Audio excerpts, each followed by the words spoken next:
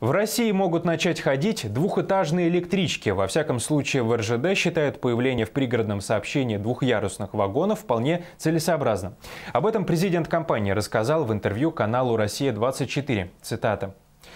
Самая главная задача, которую я вижу перед нами, сейчас будет заключаться в том, чтобы использовать такую схему для пригородных электропоездов. Такие схемы уже существуют и в Японии, и в Европе. Вот здесь, я думаю, мы могли бы значительно активнее поработать. Конец цитаты.